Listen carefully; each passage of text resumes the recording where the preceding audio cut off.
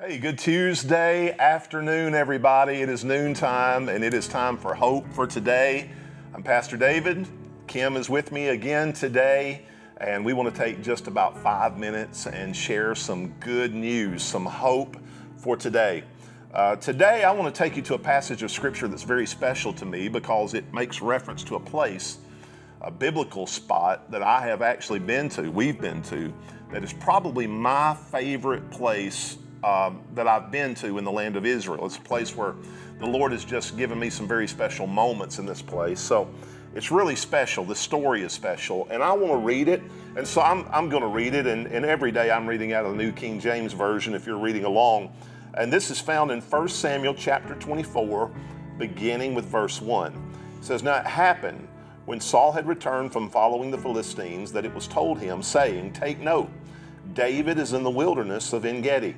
Then Saul took 3,000 chosen men from all Israel and went to seek David and his men on the rocks of the wild goats.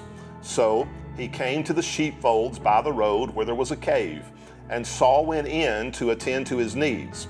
David and his men were staying in the recesses of that same cave.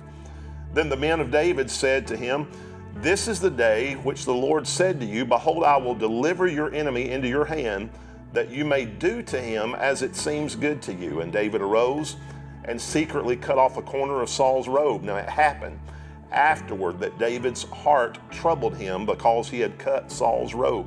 And he said to his men, The Lord forbid that I should do this thing to my master, the Lord's anointed, to stretch out my hand against him, seeing he is the anointed of the Lord. So David restrained his servants with these words and did not allow them to rise against Saul. And Saul got up from the cave and went on his way. David also arose afterward, went out of the cave, and he called out to Saul, saying, My lord the king. And when Saul looked behind him, David stooped with his face to the earth and bowed down. And David said to Saul, Why do you listen to the words of men who say, Indeed, David seeks your harm? Look. And he held up the garment. He said, Look this day your eyes have seen that the Lord delivered you today into my hand in the cave, and someone urged me to kill you, but my eye spared you. And I said, I will not stretch out my hand against my Lord, for he is the Lord's anointed. En Gedi is a very special place geographically. If you've ever been there, or you ever have the opportunity to go, and we're going to go again, we would love for you to go with us. En Gedi is in the middle of what is called the Masada Desert in the area of the Dead Sea. And it is, if you go there, you'll see as far as you can look to the east, west, north, and south, it is desert. But there's a place there called En Gedi to this day. It's a place where there's a spring and a waterfall, and it fills a little pond with water. In the middle of the desert, there is a spring, a river. And I could talk a lot about that because that's where I'm sure David got the, the phrases like he makes rivers in the desert. Um, it's probably, I walked up to the top of En Gedi and there was a, just a still small spring and, and I looked beside me and there were two deer that were drinking out of that spring. And I was reminded how David said that even as the deer pant after the water, so my heart pants after you. But when I was standing there a few years ago, the Lord really spoke something to my heart. You know, David was anointed to be king. He was Jesse's son, and he was working on the backside of a field taking care of sheep. When the Lord called him, Samuel came to anoint the king, and the oil would not flow for the other brothers. You know the story. And so his dad, Jesse, calls David out of the field, and David comes, and the oil flowed upon his head, and Samuel anointed him to be king.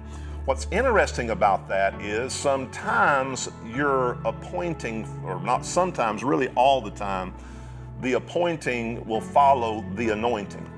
David was anointed to be king, but the first thing, the next thing he did was he, he didn't go to the throne, he didn't go to the palace, he didn't become king overnight. What he did after he was anointed and God said, This is my man, he is the king. The next thing David did was he went right back to the thing he was doing, taking care of sheep and being faithful. I don't know about you, but there's been times when God gave me a word and said, I want you to go here, and it felt like it was going to happen overnight, and it didn't. But what we have to understand is what Paul says in Romans 8 28 that the Lord is working all things together for the good to those who love the Lord. When I stood there En Gedi, at, En Gedi a few years ago, I thought about that. David was anointed king, but he had to go back to doing that, that manual labor that he had done before. And I'm sure many times he thought, God, if I'm anointed to be king, then why am I shoveling sheep dung? Why am I taking care of these sheep and doing this dirty daily routine that is just not what a king does? I believe that God was preparing him for what he had prepared for him.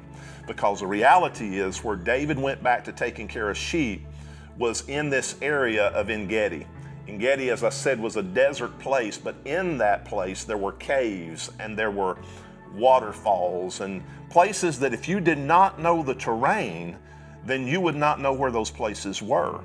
So the Bible, we just read that when Saul was pursuing David many, many, many years later, Saul was pursuing David, and the scripture says that Saul took 3,000 of his best men to pursue David. And if you read this story on the surface, you would think that Saul had an advantage over David because he had 3,000 great men. He was the king of the land. And David just kind of had a motley crew and he was hiding out in these caves. But the reality is that David, God had prepared David for what he had prepared for him. And because David went back to taking care of sheep, there was a season where he was in boot camp and didn't know it. God was preparing him for something that he was not aware of. He was teaching him in those moments where the caves were, so that he could take shelter with his sheep. He was teaching him where the springs in the desert were so that he could water the sheep.